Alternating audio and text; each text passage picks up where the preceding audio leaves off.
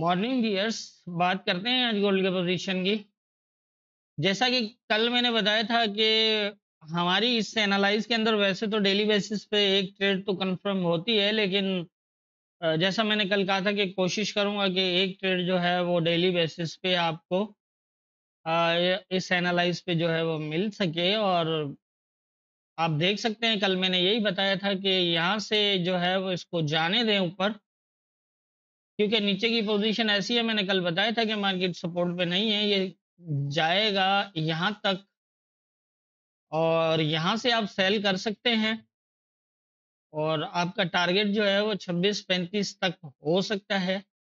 कल bank holiday US bank holiday था, इस वजह से ज़्यादा मूव तो नहीं हो पाई, यहाँ तक नहीं आया, लेकिन फिर भी एक अच्छी खासी मूव हुई है। अभी भी छब्बीस छियालीस पे चल रहा है, जबकि छब्बीस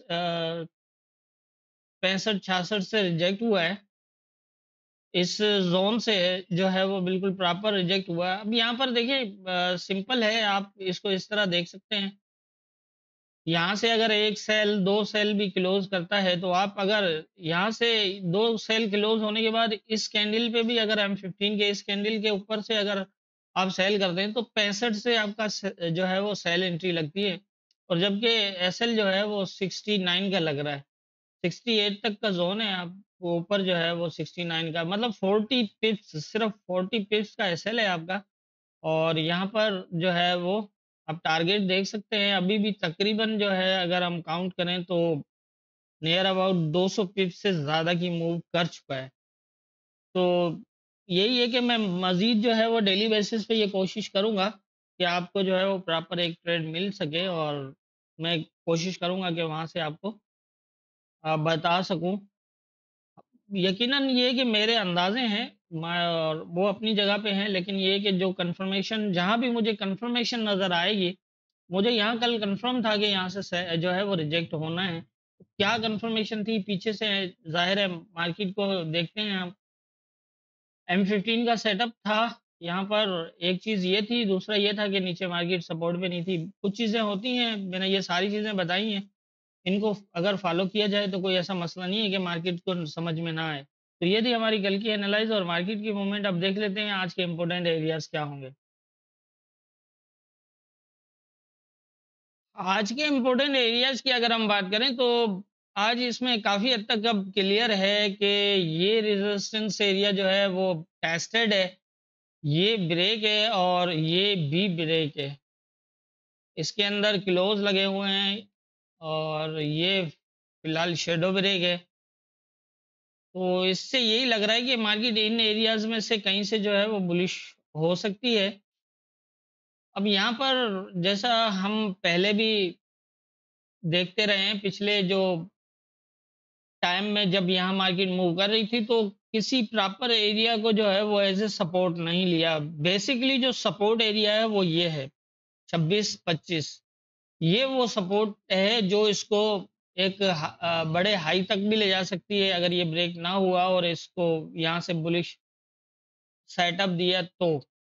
और अगर ये ब्रेक होता है तो फिर यूँ समझिए कि फिर 2600 वाला एरिया जो है वो दोबारा मार्केट देख सकती है। लेकिन उसके लिए कुछ इस तरह होगा, मैं मूवमेंट आपको बता देता हूँ, क्योंकि इसने ऊपर भी ब्रेक किए हुए लेवल तो पॉसिबल यही लग रहा है कि अगर ये यहाँ आता है और इसको टेस्ट करता है या फिर यहाँ से जो है वो सपोर्ट बनती है तो फिर सेम एरिया होगा।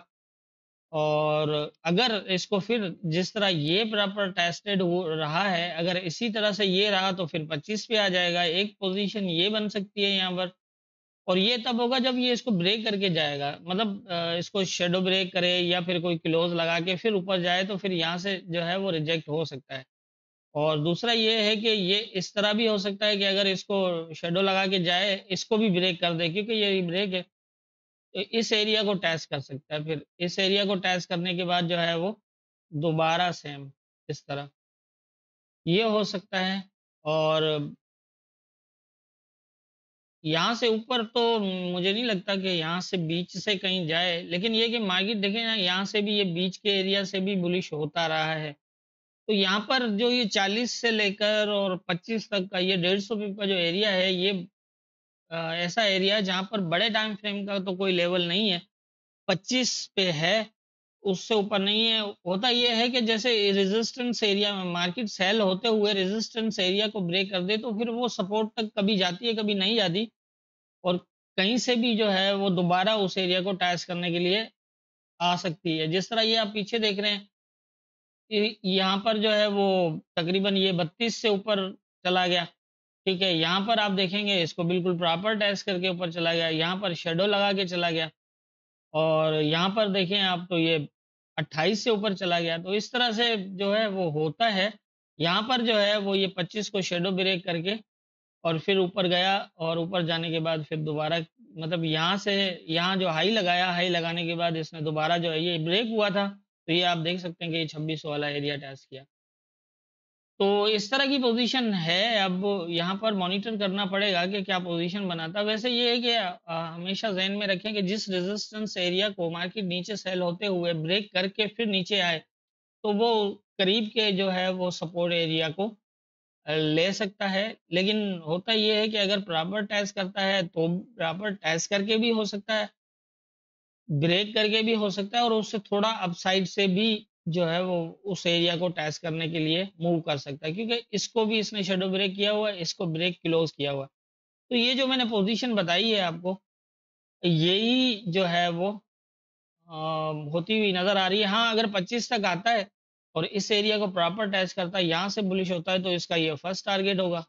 ठीक है और फिर ये एक मतलब अगर यहाँ से अच्छी मूव करता है तो फिर ये एक अच्छी बाइंग ऊपर भी ले जा सकता है। क्योंकि ये ब्रेक है यहाँ तक, अगर बाइंग भी हो तो यहाँ तक। इससे ज़्यादा जो है वो बाइंग थोड़ा सा मुश्किल रहेगा क्योंकि ये जिस तरह ये इसको टेस्ट छोड़ के आया है तो इसके लिए इससे ऊपर फास्ट निकलना थोड़ा सा मुश्किल होगा। लेकिन मार्केट है क्योंकि ये ऑलरेडी ब्रेक भी है तो सीधा भी निकल सकता है।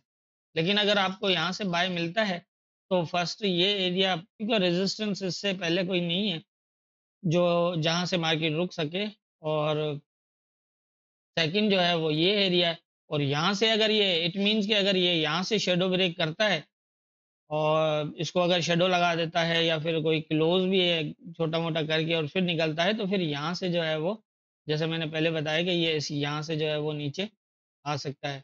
ये भी हो सकता है कि ये यहाँ से इसको ब्रेक करके, इसको टैच करके जाए या फिर ये भी हो सकता है कि ये सीधा आ जाए, यहाँ पर इसको भी ब्रेक करे और फिर दोबारा ऊपर जाए। तो अगर ऐसा करता है तो फिर इस एरिया से रिजेक्ट होने के चांसेस होंगे दोबारा सेम एरिया तक, या फिर नीचे भी जा सकता है। क्योंकि इस टाइम जैसे मैंने पहले बताया कि अंदाज़ा ये कंफर्म नहीं कर रही मार्केट के करेक्शन जो है वो यहाँ होनी थी। डे की भी और वीक की भी। वीक का भी तकरीबन यही बनता है एरिया करेक्शन के लिए और डे का भी यही। डे की तो देखें तो डे की तो हो चुकी है, लेकिन वीक की जो है वो नहीं हुई। अगर तो ये वीक की करेक्शन करता है तो ये 2600 वाला एरिया है ना ये भी ब्रेक हो सकता है। अगर ये वीक की करेक्शन करता है लेकिन अगर ये सिर्फ़ डे की करेक्शन को रखता है तो फिर यहाँ से बुलिश भी हो सकता है और एक नया हाई भी बना के बना सकता है।